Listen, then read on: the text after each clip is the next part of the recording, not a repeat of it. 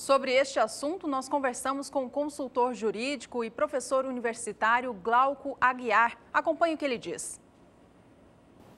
Em primeiro lugar, a repatriação não é obrigatória. Acho que esse é o primeiro fator que nós precisamos destacar. Segundo, né, aquela pessoa né, que tenha investimentos, que tenha bens, que tenha propriedades, enfim, que tenha todo qualquer tipo de ativo no exterior? E que queira regularizar a sua situação perante o fisco brasileiro e, e friamente perante as instituições brasileiras, tá? ela tem aí até 31 de outubro para poder fazer essa regularização. Aqui está sendo chamada de lei da repatriação, na verdade, na verdade é uma lei de regularização cambial e tributária. Né? Não há necessidade efetiva de repatriar os valores e os bens, mas sim informar ao fisco brasileiro, informar ao Banco Central do Brasil e outras entidades competentes no país eh, da existência dos, dos ativos que essa pessoa tenha no exterior. O produtor rural é, principalmente aquele produtor rural que invista fora do país, que tenha investimento em propriedade rural no Paraguai, na Bolívia, na Argentina, uh, na África, como tem acontecido uh, mais recentemente, aquele produtor rural que às vezes invista em uh, títulos e commodities na Bolsa de Chicago né, e não tenha essas informações constantes na sua declaração de rendimentos, essa é uma oportunidade para isso,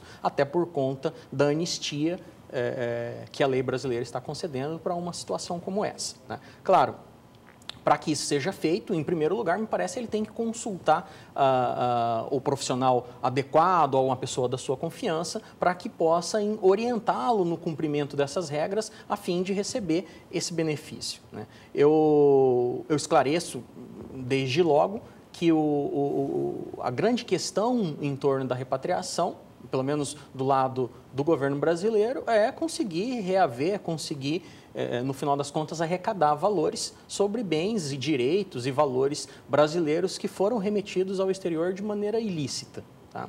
Perceba que, é, em primeiro lugar, nem todas as pessoas poderão aderir à lei da regularização cambial. Esse acho que é o primeiro fato. Né? Ah, algumas situações, pessoas que, por exemplo, já tenham sido condenadas com trânsito em julgado quanto a crimes de sonegação de tributos, quanto a crime de evasão de divisas, quanto a crime de lavagem de dinheiro, não poderão fazê-los.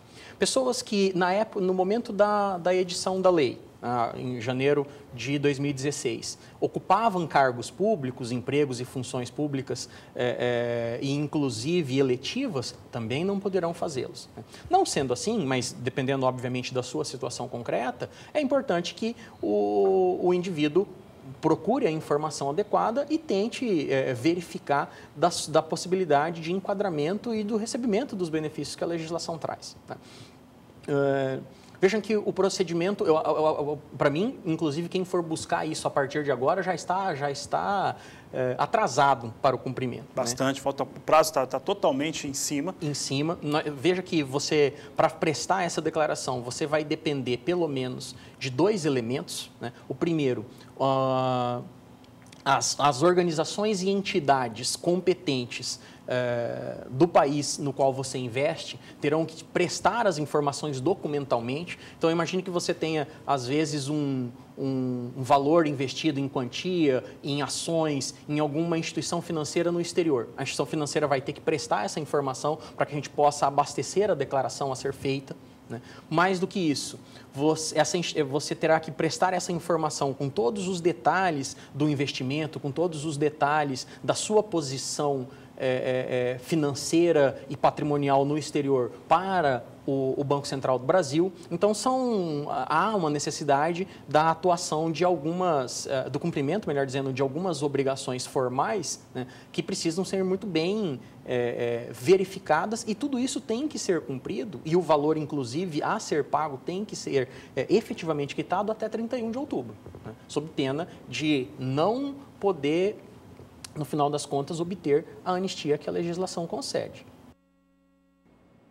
Este foi o consultor jurídico Glauco Aguiar falando a respeito da lei de repatriação. Desde quando o governo começou a arrecadar com as multas e tributações sobre esta lei, até o fim da última semana já havia arrecadado 12 bilhões de reais. E a expectativa é que chegue até o fim do mês de outubro com 50 bilhões de reais arrecadados. Se você quiser saber mais sobre este assunto, acompanhar mais informações sobre o que o consultor Glauco fala, Acesse o blog do Agricultura BR entrando no portal do SBA, www.sba1.com.